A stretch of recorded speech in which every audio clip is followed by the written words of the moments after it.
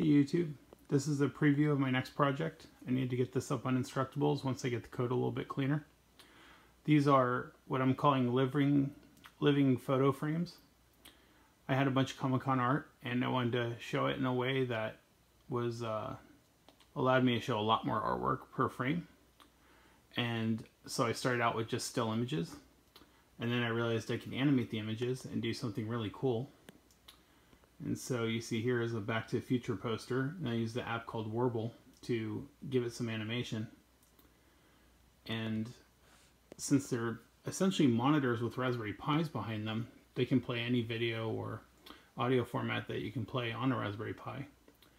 And they make for some really cool um, frames in the room instead of just standard photo frames that are static. You get some really cool effects with them. And so I'm just going to kind of go through some of the artwork here. And what I'm doing is I've got a web server on each of these. And so I can actually switch them at, at will to whatever I want.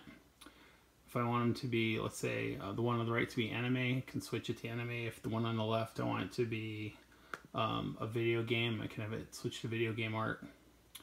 Uh, if I want to switch them both over to Disney, we can do stuff like that. Comics. Um, and these are some of the still arts that I can I can do. But oh, sometimes they sync up perfectly. But it, instead of having to choose a single art piece, I can actually navigate through quite a few and have them on just a uh, on a cycle of like 30 seconds for an image or play through the video or whatever. And I want to show, I'm switching over looking for certain ones now. So this one here, again, this is a Werble uh, of a DeviantArt. And I have that, that art piece right here. This is the original. And this is a uh, Morrigan from Darkstalkers, and then you've got the Ryu next to it. And I'll show what that looks like animated. See here. There you go, there's the Ryu animated. So I've animated the fireball, given an effect, and then made his eyes glow. And there's a uh, mermaid.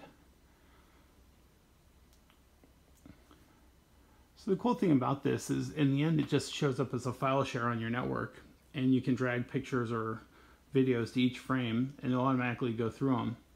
And if you give them folders, then on the web interface, it's not very pretty here, but just to kind of show you, it'll show it'll list the folders, and then you just kind of pick whatever you want to show up there. So if I go down here to relaxing on the left frame, then I get a beach scene. And again, this could be videos or images. The hardest thing, honestly, is finding something vertical.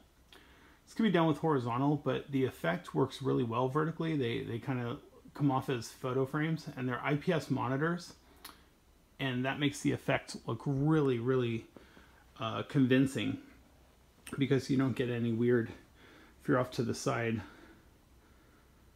you don't get any weird like uh, dimming of the monitors. They look really sharp.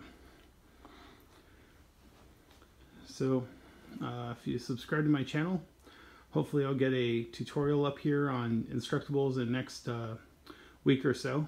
I'm a new dad, so my project time has definitely been cut a lot shorter than it used to be, but I'm still trying to figure out a way to balance projects and uh, in life. Thanks for watching. I appreciate the subscriptions and the kind words in the comments. If you have ideas or uh, if you have questions on this before I get the Instructable up, feel free to ask and I'll uh, answer what I can. Thanks a lot. Until next time.